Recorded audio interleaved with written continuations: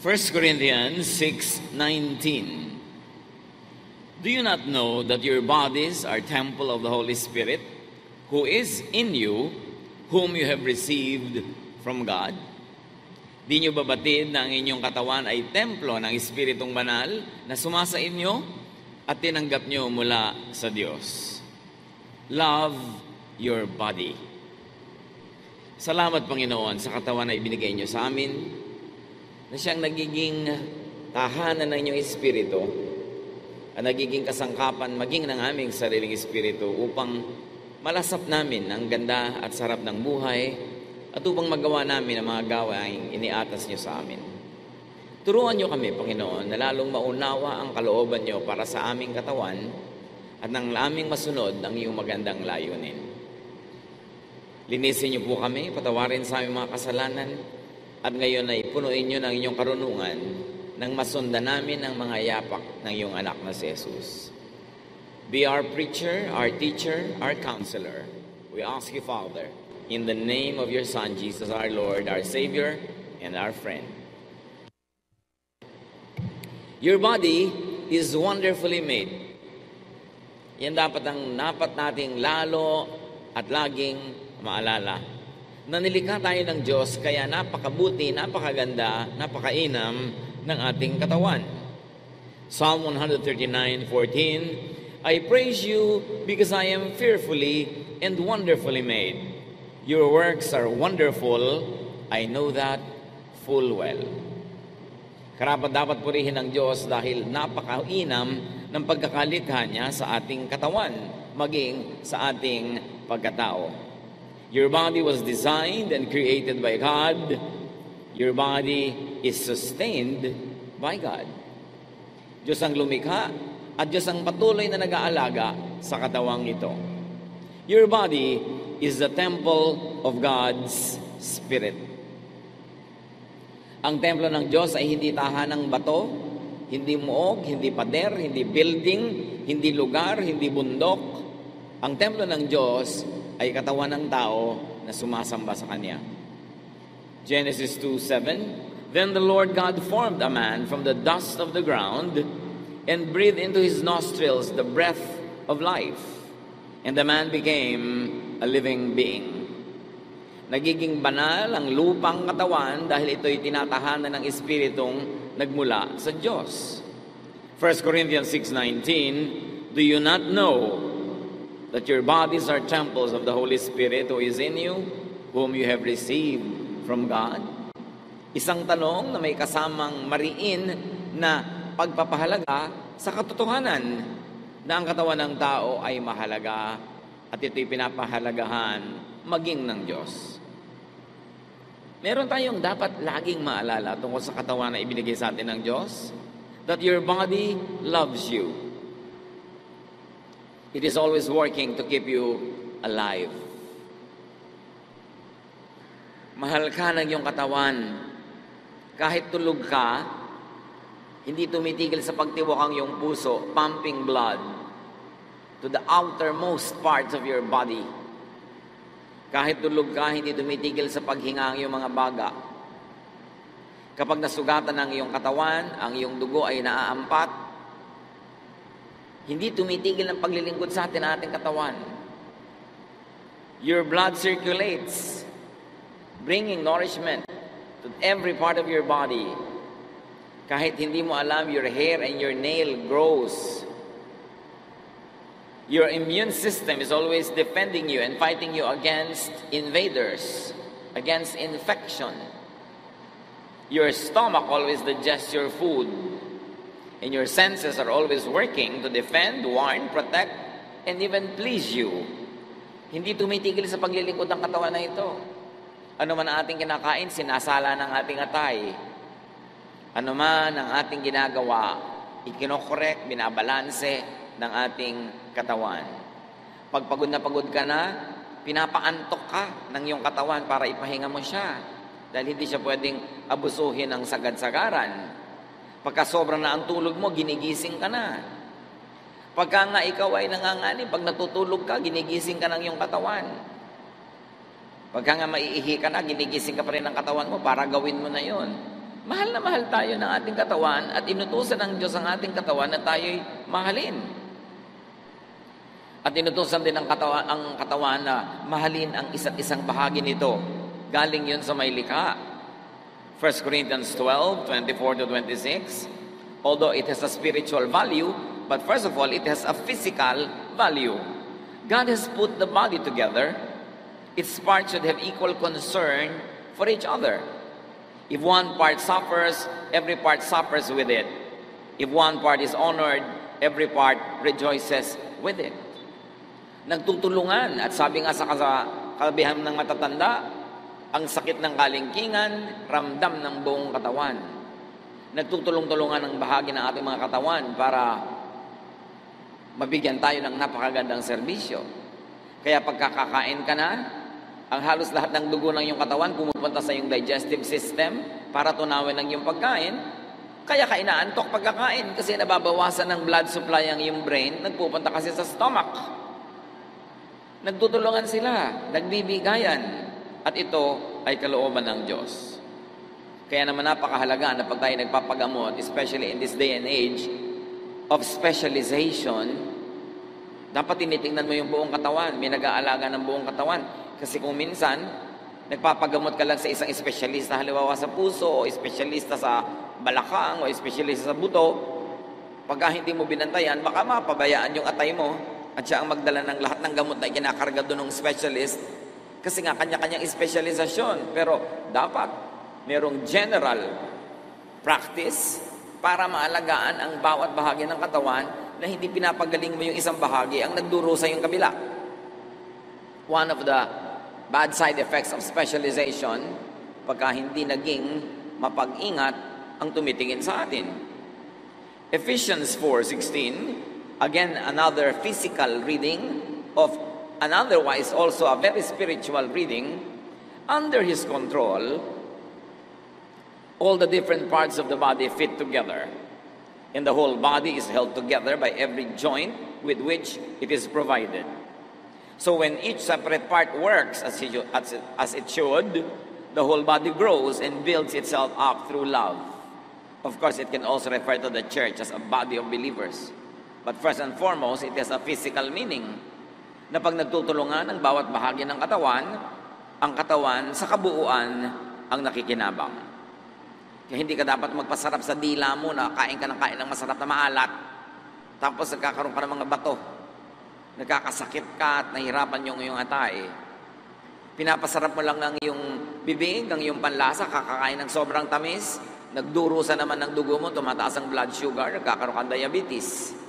Dapat nagtutulungan ang bawat bahagi ng katawan at hindi kinukonsente lang o pinapasarap yung isa lamang at the expense of other parts. Your body heals and restores itself. Wala kang kamalay-malay, yung sugat mo gumagaling. Your body speaks to you about survival, health, and wellness concerns. Kaya may mga balat tayo na sensitive sa lamig o init, binibigyan tayo ng warning, mag-jacket ka, o magpaypay ka, o maligo ka, kasi nahihirapan ang iyong katawan sa extreme temperatures. Napaka-importante na nakikinig tayo sa ating katawan. Pag sobra tayong napapagod, nagpapahiwatig ang katawan. Nanlalata, nanlalambot, inaantok tayo kasi kailangan niya magpahinga. Your body loves you. So love your body back. Keep it alive and healthy. Ang pag-iingat, pag-aalaga sa katawan ay isang uri ng mataas na pagsamba sa Diyos. Dahil kung mahal mo ang Diyos, mamahalin mo ang ibinigay niya. Pag minamahal mo ang ibinigay niya, minamahal mo ang nagbigay. At iyon ay isang uri ng pasalamat, papuri, pagsamba. Keep your body clean. Outside. Sa panglabas muna, napakahalaga na laging malinis ang ating katawan na hindi naman problema ng marami Pilipino.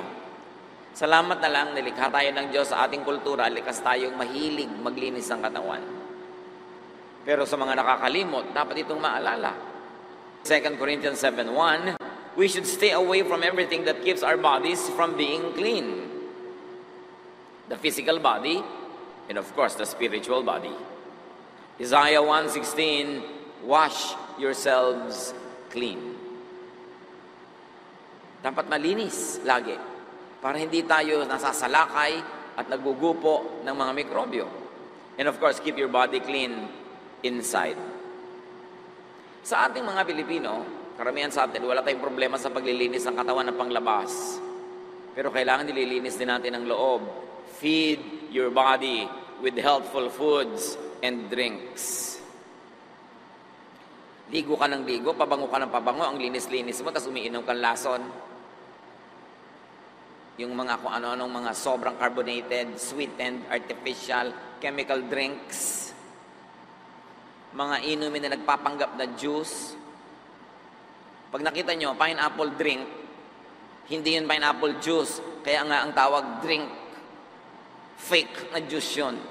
Baka may isang patak na juice at may pakulay, may artificial flavoring, maraming sugar, inom ka ng inom, pinaparumi mo ang loob ng iyong katawan. Inom ka ng inom ng mga sobrang daming asukal, daming kulay, minsan jobos na yata ng sapatos ang nakalagay sa tosino. Kailangan pinag-iingatan yung mga artificial na yan.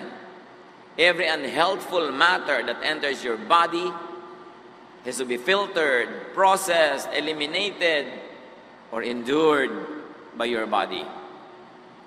Pag naglagay ka ng masamang timpla sa loob ng iyong katawan, nasarapan kumisan ang iyong lalamunan, pero hirap na hirap yung mga laman loob mo para salain, linisin yun, itapon yung mga dumi, o kaya kung di niya maitapon, ay hirap na hirap yung katawan mo sa pagdurusa at pagtitiis para lang kumisan masyahan ang ating bibig. Gaano katigas ang mga ulo ng pinipigil kumain ng sobrang alat at bagoong, tapos yung parin at yun at yun ang kinakain na para walang na naririnig na turo. Pagkatapos, masakit ang ulo, nahihilo, masakit ang katawan, tumitibok ang puso, naaatake sa puso, pero ayaw tumigil kakakain ng ipinagbabawal. Pagka dapat hindi nakikinig sa payo, pag nagkasakit, eh, hayaan manigas. Dahil matigas ang ulo. Pinahihirapan ang katawan. Bakit dapat laging pagbigyan ng bibig? Napasukan lamang at masarap lamang hanggang bibig, pero pag lumampas na sa lalamunan ang maling pagkain, laso na sa iyong katawan. Daniel 1.8 But Daniel resolved not to defile himself with the royal food and wine. Sila Daniel ay mga panauhin ng hari ng Babylon sa kanyang palasyo, pinapakain ng mga pagkain ng hari, pero minabuti niyang wag kasi iniisip niya at alam niya at naniniwala siyang makasasama sa kanyang katawan. Kaya tinanggihan niya ang ganong uri ng pagkain. Si Timothy, lagi nilang siraan tiyan. Ang payo sa kanya ni Paul, 1 Timothy 5.23, Stop drinking only water. Take a little wine to help your stomach trouble and other illnesses you always have. So sabi, puro tubig lang ang iniinom mo, hindi naman laging malinis. May mga impeksyon, may mga butete, may mga itlog ng lamok. So, tumigil ka muna ng kainom niyan at uminom ka ng bahagyang uh, alak na may alcohol content that can disinfect your body.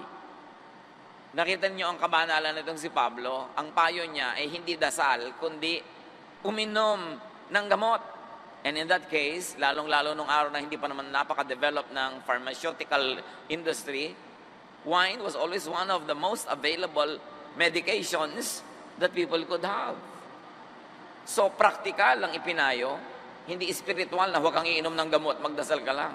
Si Pablo na yon. Sabi niya, uminom ka ng alak para yung sira ng sikmura mo'y mapabuti. Ngayon naman, kumisan yung sumosobra ka sa pag-inom, kaya nasisira ang yung stomach nagdurusa ang atay, kaya dapat balanse yan. So feed your stomach with good foods and feed your mind with helpful thoughts. Nililinis mo ang labas ng iyong katawan, nililinis mo ang iyong mga lamang loob, ang iyong bodily organs, pero nililinis mo ba ang iyong utak? O pinupuno mo ng takot, pag-aalala, panay ang iyong pag-i-imagine at guni-guni ng mga nakakapagpabalisa, nakakagalit. Pinupuno ba natin ating isip ng inggit, ng pagkamuhi, Lason lahat yan. Lason sa isip na nagbubunga sa sakit ng katawan because it is mind over matter. Faith over the material world. Kung ang pinaniniwalaan at sinusubaybayan ng iyong utak ay takot, hirap, yun ang lalabas sa iyong katawan. Kaya maraming mga sakit na hindi masuri ng x-ray machine o hindi makita ng ultrasound kasi spiritual ang pinagmumulan, emotional, mental. Philippians 4.8 Keep your minds on whatever is true, pure, right, holy, friendly, and proper. Don't ever stop thinking about what is truly worthwhile and worthy of praise. Itoon ang isip sa mga bagay na mabuti, maganda, banal, tama, nakabubuti para sa iyo at karapat-dapat. Sabi, huwag kayong tumigil ng kaiisip ng mga bagay na makabuluhan, at sukat ipagpuri. Hindi ipagreklamo, ipa, ikalungkot, ikainis. Bakit mo pupunuin ang iyong puso ng inis, ng galit, palalakihin mo yung maliit na bagay, ang nagdurusa ang, ang presyo ng iyong dugo, ang nagdurusa yung tibok ng iyong puso, ang iyong pulso, ang iyong katawan. Why make your body suffer? Huwag gawing basurahan ang utak, ang ating isip kung ayaw mong gawing basurahan ang iyong kwarto, basurahan ang iyong kusina, mas maingat ka dapat na hindi mo gawing basurahan ang iyong utak. Pag may bubulong-bulong, chichismis-chismis, naninira, nanggagalit, nanonulsol, tanggihan. Bakit yung hahayaan? Natambakan niya ng basura ang laman ng iyong isip. Make your body, move your body. Kailangan ng katawan, gumagalaw. Nilikha tayo ng Diyos sa gumalaw. Kaya yung nagbubuntis, Nalalaman buntis na siya dahil sisikad-sikad, gugalaw-galaw yung bata doon sa loob. Nandun pa sa loob, gumagalaw na. Dapat ang taong nabubuhay, unless paralyzed siya, ay gumagalaw. At kung mahina ang katawan, gumalaw ayon sa kaya ng katawan sa oras na yon. Because life moves. Ang lahat ng kahuli-huli at kaliit-liitang cells ng mga living things, pag tinignan mo sa microscope, lahat gumagalaw, nagagalawan lahat. There is life in movement. And therefore, do your body a favor, work. Kailangan ng tao nagtatrabaho kasi yung trabaho, exercise din yun. Exodus 20, 9 to 10, you have six days when you can do your work. Mahalaga ang magtrabaho. Kumikilos ka sa bahay, gumagawa ka ng maraming bagay para ang katawan kumikilos, lalo itong lumalakas. Psalm 104.23, Then we go out to work until the end of the day. Marami mga tao na de-depress kasi hindi nagtatrabaho, walang ginagawa, nalulungkot tuloy, dinadalaw, pinamumugaran ng lungkot dahil walang ginagawa. Kailangan ng tao, may ginagawang katawan and work also affirms our worth. Aside from the fact that work earns for us, work also improves our value. At pagka tumataas ang pagtingin natin sa ating sarili, tumataas ang pagtingin ng iba, lalo naman tayong sumasaya. At pag tayo sumasaya, tayo'y lumulusog. Dapat pasayahin ang sarili. Napatunayan na ng siyensya ang mga mas masayang pasyente, mas mabilis gumaling kaysa sa mga malungkot na pasyente. Ang mga masaya na ginagamot, mas mabilis yung katawan nila na tumanggap ng kagalingan mula sa gamot kaysa yung malungkot na ginagamot, halos hindi tablan. Sapagkat pag masaya ka, your immune system becomes strong. And everything else is about your immune system. Ang lahat ng sakit na nagsisikap na pumasok at gumupo sa ating katawan, yung ating immune system ang lumalaban doon. At ang taong mga masayahin, malakas ang immune system, malakas ang naturalesa. Kaya dapat pinapasaya ang sarili. Yung iba naman masaya na nga, pinapalungkot pa. Malungkot na nga, mas pinapalungkot pa. Pag dinadapuan ka ng lungkot, itaboy mo agad. Kailangan pasayahin mo ang iyong sarili. Huwag kang lagi magdramang bukid. Huwag kang lagi mag-isip ng mga sentimiento, mga nakakalungkot, mga pagsisisi, hinanakit, galit, puot. Kasi magkakasakit ka. In fact, sakit na nga yun. Sakit na yun ang utak. At ang sakit ng utak ay napakabilis maghawa sa katawan. Exercise. Sa abot ng iyong kaya, dapat ang tao ay nag-e-exercise. Bago umuso ang mga machine, maraming exercise ang tao. Pero ngayon, lahat na, pati ba naman pagbubukas lang ng TV, paglilipat ng channel, remote na, hindi na tumatayo, hindi na gumagalaw ang tao. Kaya napakaraming mga ginagawa yung katawan na ang ending, tumatamad, nade-depress, humihina. 1 Timothy 4.8 Exercise is good for your body. Ang taong maka-Diyos nag-exercise. Sabihin nyo nga sa katabi nyo with feelings, Hindi na dadaan sa dasal-dasal-dasal lang lagi. Makadiyos ka pala, mag-exercise ka. Bahagi yon ng tamang pananampalataya. Ulitin nyo pa. Ganyan, may kasama dapat panlilisik ng mata. Lalo't alam nyo yung kausap nyo, napakatamad mag-exercise. Tapos upo ng upo, kain ng kain ng mga kung ano-ano mga sitsirya. Aba, ba't di ka nalang tumalon sa building ng madali ang yung pagpapakamatay? Kasi pinapatay mo ang iyong katawan. Very importantly, dance. Magsayaw kayo mga kapatid. Minasama kasi ng mga relihiyoso yung sayaw nito mga nakarang huling daang taon. Samantalang nung unang panahon, ang pagsasayaw ay talagang kasama sa pagsamba, minasama ng mga conservative westerners yan. Hindi ibig sabihin nun, tama sila. Kaugalian lang nila yon. Ecclesiastes 3, 1 to 3, Everything on earth has its own time and its own season. There is time for dancing. Bahagi yun ng isang makadiyos na buhay. Kasi ang katawan natin, binigyan ng Diyos ng rhythm. Nakakarinig ka lang nga ng tugtog, napapaganon yung katawan mo eh. Dahil sumusunod, nilikha. Ang bata, hindi mo tuturo ang sumayaw. Pag nakarinig ng tugtog, sasayaw. Tapos maraming mga relihiyoso ngayon, bawal sumayaw. Bawal umindak, bawal umugoy-ugoy na ganon. Para sa kanila, pag banal ka, dapat bato ka. Imbento lang nila yon, hindi yun galing sa Diyos. Galing lang yon sa kanilang conservative backgrounds and they're passing it on as spirituality and godliness. No, version lang nila ng spirituality yon at huwag kayong pabulag sa ganong mga ideya. Do not demonize dance Katulad ng do not demonize rest, enjoyment, pleasure. Ang pagmamasama sa sayaw, sa sarap, pagpapasarap, pag-enjoy, Gnosticism yan. At pag-uusapan natin mamaya yung napakahirap ispellin at i-pronounce the word na yan. Gnosticism. Sabi mo nga sa katabi mo. Tandaan nyo yan. Psalm 150 verse 4, Praise Him with dancing. Si King David, sumayaw siya before the Ark of the Covenant, before the Lord. Naghubad pa siya ng kanyang robes at ang natira na lang na suot niya, underwear, habang nagsasayaw siya. Ang kanyang high society wife, na si Mikal, tinitingnan siya mula doon sa bintana ng palasyo at napakaliit ng pagtingin ng reyna doon sa hari na nagsasayaw sa publiko na nakahubad.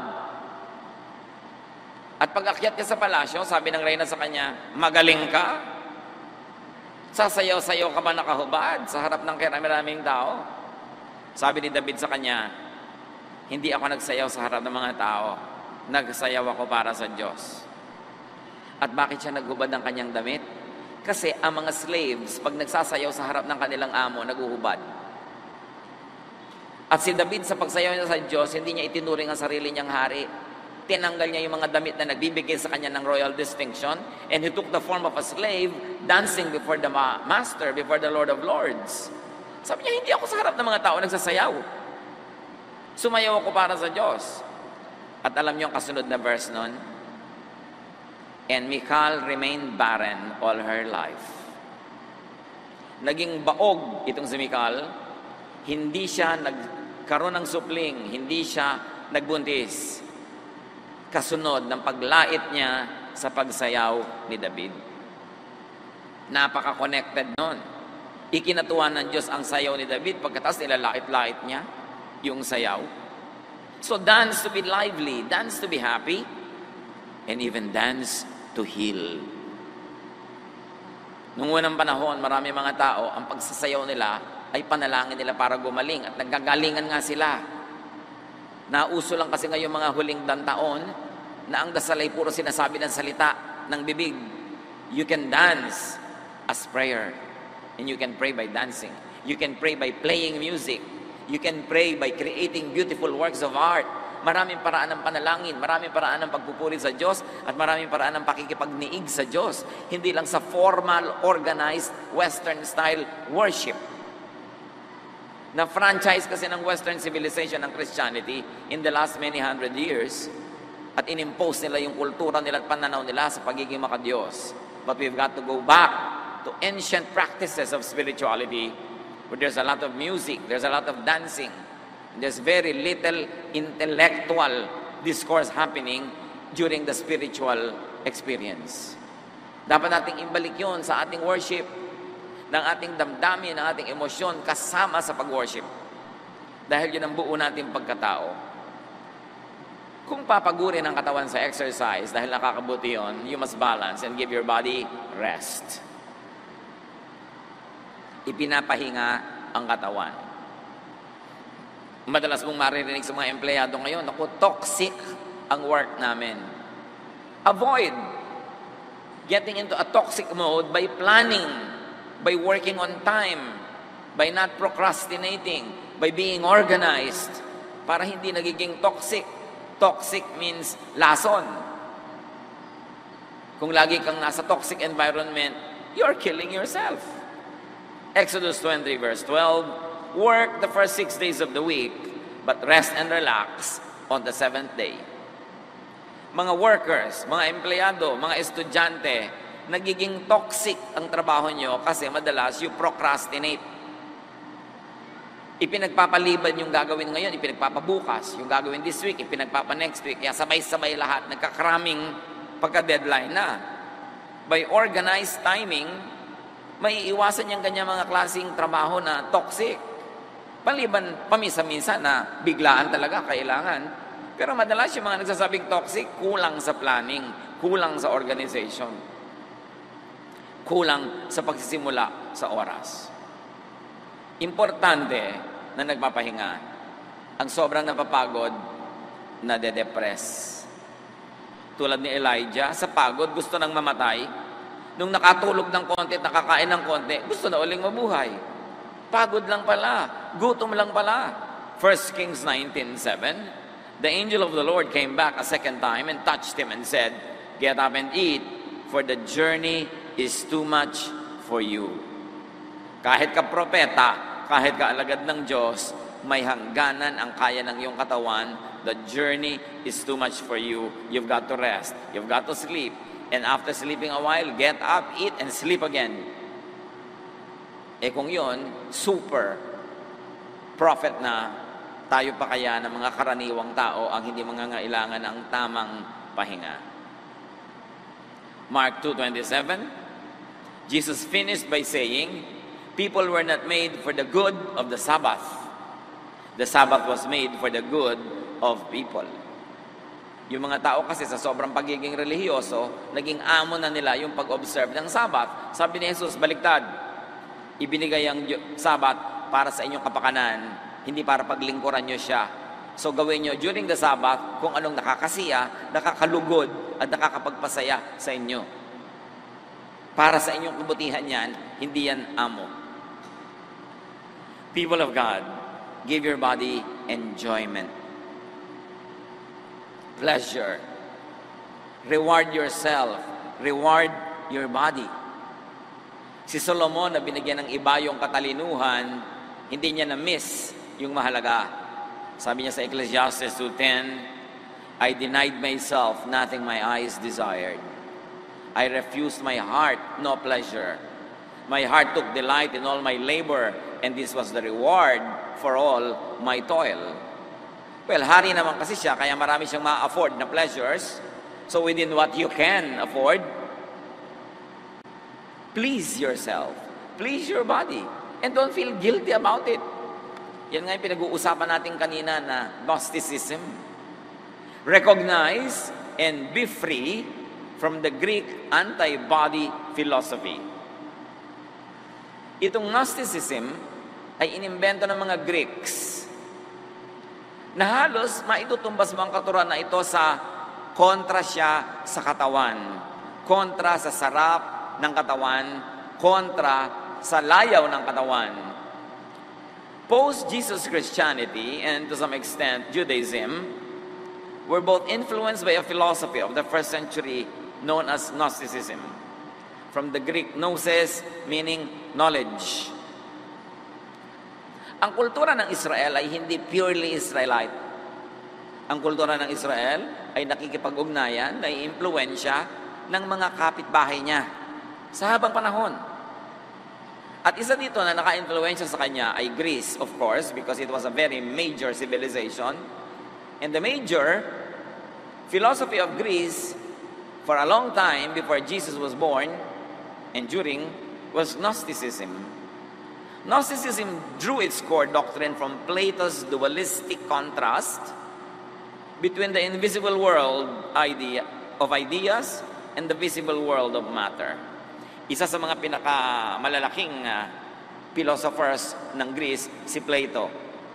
At si Plato, pinaghiwalay niya yung nakikita at di nakikita Pinaghiwalay niya yung mundo ng mga ideya, diwa, mga hindi nakikita, sa mundo ng katawan, ng lupa, ng bato, mga nakikita. So sa kanya, dalawa ang mundo, the invisible and the visible, the spiritual and the physical. And Plato's dualism created in Gnosticism a doctrine that equated matter with evil and spirit with good. Platonic idea yon, hindi yun Jesus idea. Sa paghihiwalay ni Plato ng mga katotohanan na nakikita at di nakikita, physical at non-physical or spiritual, minasama niya ang physical at minabuti niya yung spiritual. Kay Plato, lahat ng nahihipo, nakikita, nasusukat, may timbang, nayayakap, natatapakan, nasasandalan, lahat ng bagay na material ay masama. At sa kanya, ang mabuti lang ay yung mga bagay na nandun sa daigdig ng isipin, ng ideya, nandun ang Espiritu. Pero ideya yun ni Plato, hindi yun ideya ng Diyos. Kaya lang yung ideya na yun naka-impluensya maging sa kultura ng Israel, kaya ito'y pumasok maging sa mga kaugalian ng Israel hanggang sa Israel na inabutan ng Panginoong Yesus. And out of this equation, that spirit is good, matter is bad, came to opposite modes of conduct. Asceticism, the suppression of bodily passions because of their connection with evil matter. So isa yan.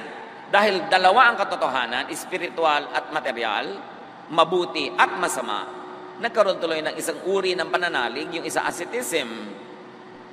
Pagsupil pagpipigil, pagpatay, pagtanggi sa lahat ng gusto ng lupang katawan. At yun ay itinuturing na kabanalan. Galing yun kay Plato, hindi sa Diyos. Linawin nyo yun.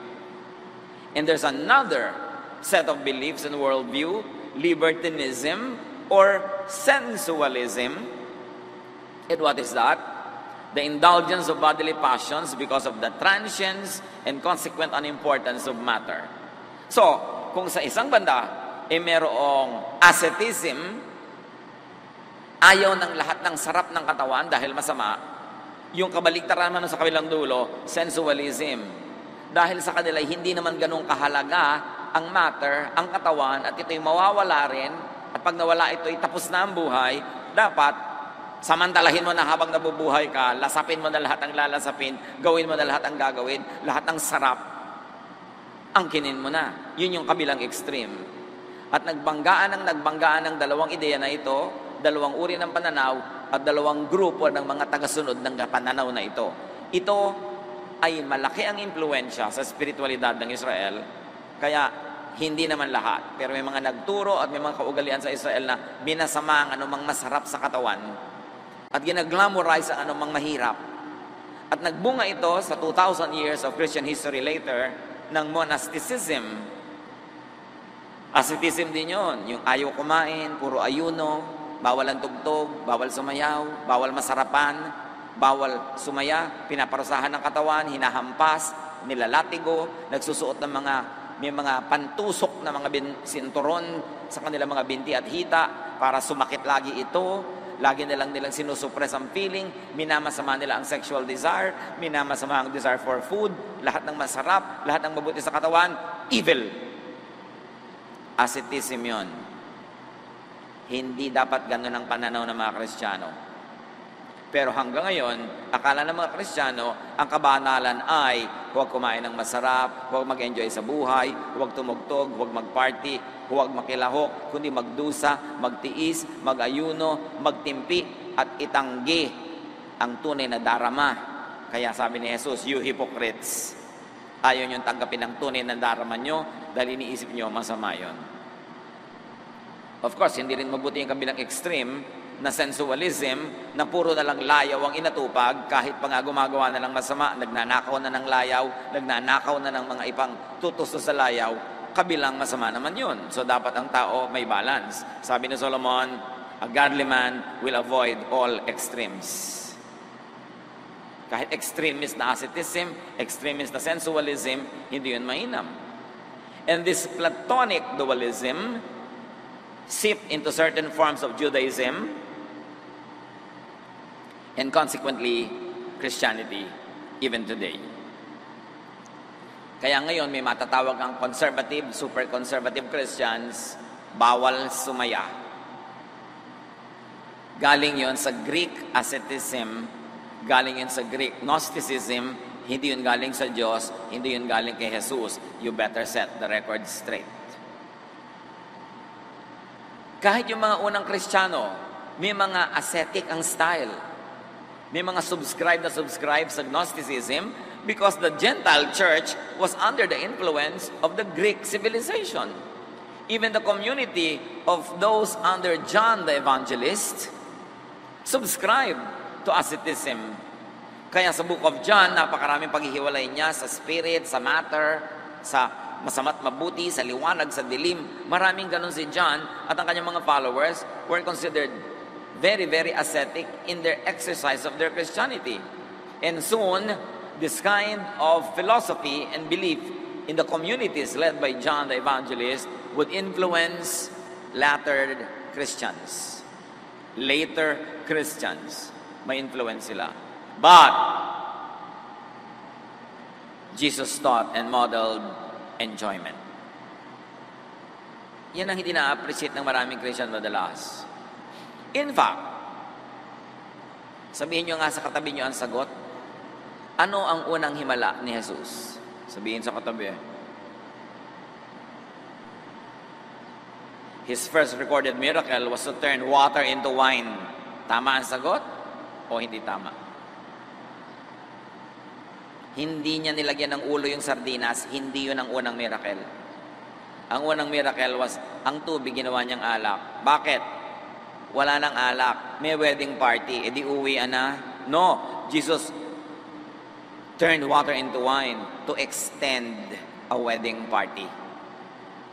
Yun ang unang-unang himala. You would think na ang unang himala niya dapat nagpalakad ng pilay, nagpagaling na may sakit. No, ang unang himala niya, in-extend niya yung kasiyahan ng isang pagtitipon. Yun palang kitang-kita na kung ano ang tunay na layunin ni Jesus para sa mga tao. And throughout the Gospels, you see Jesus eating and drinking. Matthew 11 19, but the Son of Man goes out around eating and drinking. And you say, that man eats and drinks too much. He is even a friend of tax collectors and sinners. That is the Jesus, our Savior, the Son of God, the King of Kings, the Lord of Lords, the Teacher of Teachers. He went around eating and drinking. Bring this Jesus back to Christianity. Kasi inalis siya ng asceticism, inalis siya ng Gnosticism, at pinalitan siya ng conservatism. Matthew 9:14, Then John's disciples came and asked him, How is it that we and the Pharisees fast often, but your disciples do not fast? Nakita nyo, siyempre kung anong ginagawa ng master, yun ang ginagawa ng mga tagasunod. At ang mga tagasunod ni Jesus ay nilalait, tinatanong, Ba't hindi kayo mahilig magayuno? Bakit kami? Ayuno ng ayuno. Tapos kayo, hindi. Then later on, Christians would glorify fasting too much. May gumagaya pa kay Jesus ng 40 days. Hindi naman niya sinabing gayahin siya. At yun lamang ang recorded fast ni Jesus. A very important fast, which happened only because he was in the wilderness and there was nothing to eat. Hindi naman siya nagpasyang magfa-fast ako ng 40 days. Dinala kasi siya ng Espiritu sa ilang at doon siya ay sinubok at nagkataon wala naman siya dalang pagkain. Kaya 40 days siya tuloy nag-fast pero hindi sinabing gagawin mo rin yun sa buhay mo dahil hindi naman ikaw si Jesus. Kasi kung kokopyahin mo yun, eh di ba di ka nalang papako sa krus? Kop, kumpletuhin mo na ang pagkopya. Meron tayong kinokopya kay Jesus, sinasabi ng ating utak. Pero merong hindi, pangkanya lang yon. Ministry niya yon, hindi natin ministry. And Jesus is known to rest and to sleep. Kaya nga kahit na may bagyo na at windang-windang na yung kanilang sasakyang pang dagat doon sa gitna ng bagyo, tulog pa rin siya. Mark 4.38 Jesus was in the stern, sleeping on a cushion. The disciples woke him up and said, Teacher, don't you care if we drown? Natutulog si Jesus sa tamang panahon, sa tamang oras, kumakain, nag enjoy Ang kauna-unahan niyang public miracle was at a party, a wedding party. The first miracle was to turn water into wine. Do you know that Jesus, or there's another type of Jesus in your mind, na isinaksak doon ng religion, inimbento ng religion, pero hindi yun ang tunay na Jesus of the Gospels. Bring Jesus, bring Jesusness back to Christianity. Jesus na nagpapalaya, Jesus na masarap kasama, Jesus na gusto mag-enjoy ka sa buhay, at Jesus na gusto ikay maging mabuti, matuwid, gumawa ng mabuti sa kapwa, at hindi mo ninanakaw sa kapwa ang iyong kaligayahan, pero magpakaligaya ka. Mahalin ang katawan. Nakita natin si Jesus, inalagaan din niya ang kanyang katawan. Fill your lungs with clean air. Pagkatapos alam na alam mo na na masama yung usok ng sigarilyo, naninigarilyo ka pa, hindi ka nila magbarel ng madali. Pagkatapos, hindi ka kontentong naninigarilyo ka, naninigarilyo ka sa public place. Lahat ng taong allergic sa usok, nausukan mo, sa kaligayahan mo, may nagdurusa. Kaya ng konsyensya mo yon. Masarapan ka lang, nagdurusa yung katabi mo. Fill your nose with fragrance. Kaya nga ngayon, merong aromatherapy, nakakapagpagaling ang pag-amoy ng mabubuting halimuyak. Fill your ears with music and pleasant sounds. Fill your home with music. Hindi sigawan, murahan, inggitan, selosan, insultuhan. Nakakasakit ng katawan yon pag pumasok na sa tenga. Fill your mouth with nutritious food. Hindi yung kung ano-ano, mabusog na lang kahit na nakakasama sa pangmatagalan. And please your palate with delicious foods. Napakalaking krimen yung hindi ka masarap magluto. Dahil gumamit ka rin ng asin, gumamit ka rin ng kalan, gumamit ka ng gas, gumamit ka ng kawali, gumamit ka ng suka, gumamit ka ng karne. Tapos yung niluto mo hindi masarap, di ba crime yun? Sayang naman ang ibinigay sa iyo mga gamit galing sa planeta, pagdaan sa iyong pagluluto, hindi masarap. Dapat masarap. Kakain ka rin lang, sarapan na. Pinag-aaralan mo kung paano maggisa ng masarap. Yung tuyong-tuyong-tuyo na yung kamatis sa gisa bago mo ilagay yung igigisa mo. Hindi sariwang-sariwa pa yung kamatis, ihuhulog mo na igigisa. Hindi masarap yon. Kailangan pinag-aaralan mo yung style ng pagluluto. Hindi yung yung bawang mo naging uling na bago mo isusunod yung sibuyas. Nakaka-cancer na yon. Dapat correct lang yung pagka-brown. Yung nagpapaksiw ka, hinahalo mo, dapat ang suka, hindi hinahalo hanggang hindi kumukulo para masarap. May art ang pagluluto, binibigyan ka ng Diyos ng mga gamit, tapos wawaldasin mo, hindi masarap ang luto mo. It's a crime. Please your eyes with beautiful vistas. Dapat inaayos natin yan hanggang kaya ng ating uh, bulsa at kaya ng ating lakas. Inaayos mo yung bahay mo.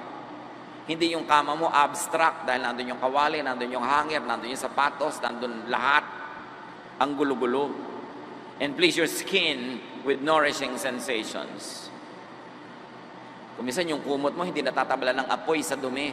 Aba naman, Labhan mo, pabanguhin mo para hihiga ka dyan, masarap humiga. Dahil 8 hours or 6 hours ka nakahiga dyan, tapos maligasgas. Meron pang mga kuto, at meron pang kung ano-anong tamtak sa loob. Kailangan pasarapin mo ang iyong buhay. Kasi ang buhay bigay ng Diyos. At gusto ng Diyos mag-enjoy ka sa buhay. Pero kailangan meron kang sipag. Importante sa lahat ng ito, may pera ka. Kaya itinuturo ng Diyos, six days you will work, and on the seventh day you will rest. Kasi pag nagtatrabaho ka, you earn, na-afford mo yung good life. Hindi yung gusto mo good life, tapos nakaasa ka sa iba. Ecclesiastes 8.15, pinakamatalinong tao si Solomon, ang payo niya, So I commend the enjoyment of life. Because there is nothing greater for a person than to eat and drink and be glad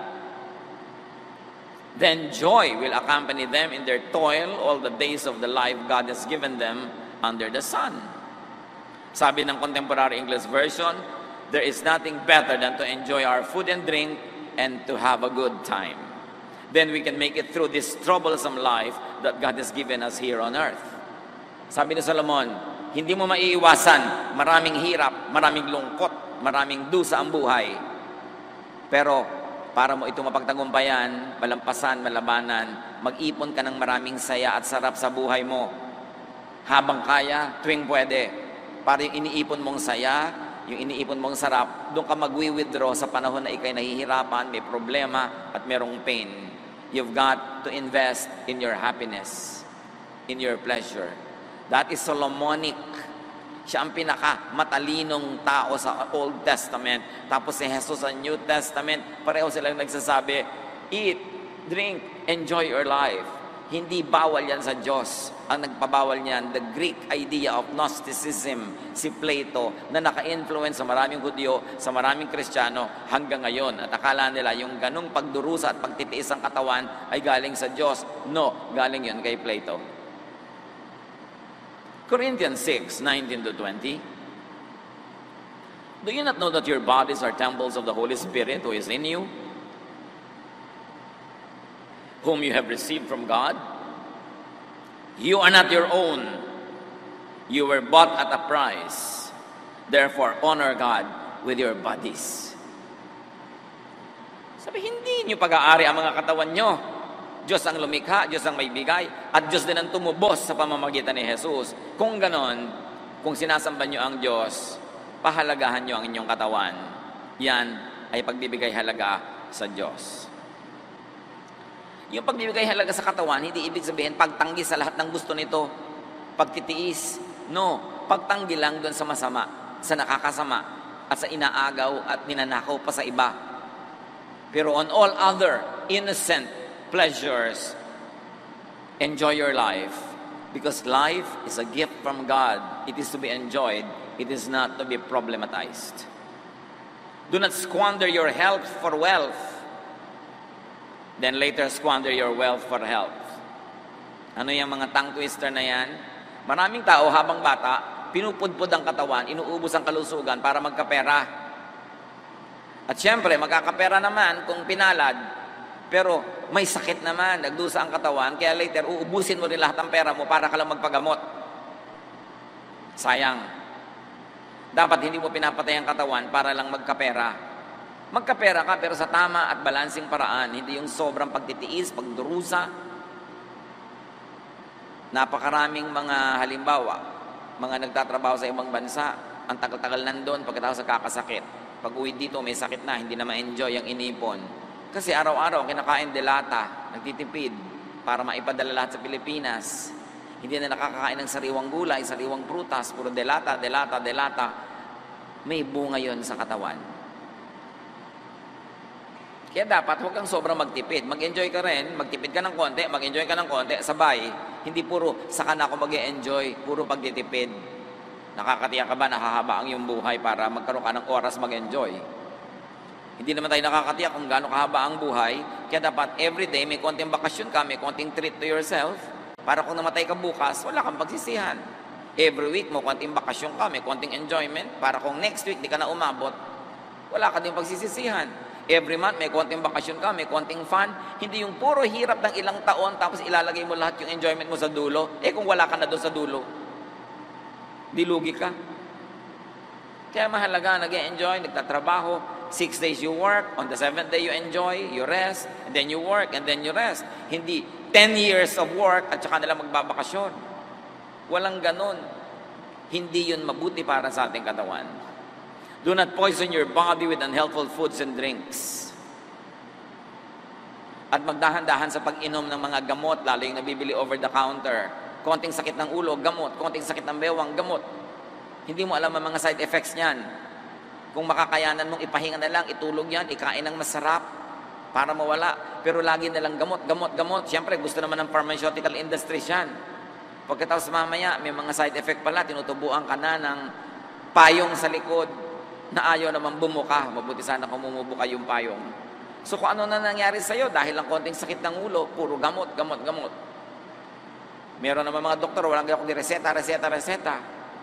Siyempre, dahil pag reseta sila ng reseta, natutuwa sa kanila yung drug company. Ingat ka rin ang ingat, hindi lahat ng nire-reseta, lulun ka ng lulun.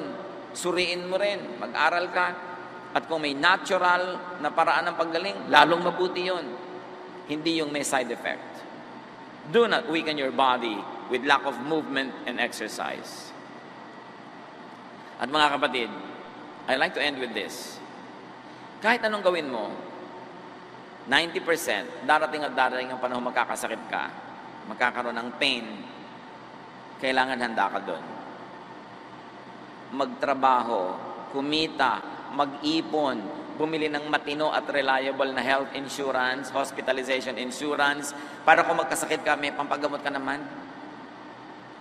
Hindi yung ang napakasakit sa lahat ay yung bulsa ang nasaktan dahil hirap na hirap ka.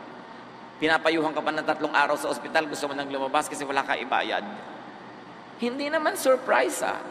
Hindi pa ba nangyari sa mga lolo natin yan, sa mga magulang natin, nagkakasakit sila at wala silang paghahanda tapos iaasa mo sa iba ang iyong pagpapagaling, halos ipalimos mo ang iyong pagpapagamot, o kaya kung wala, magdusa ka mahirapan.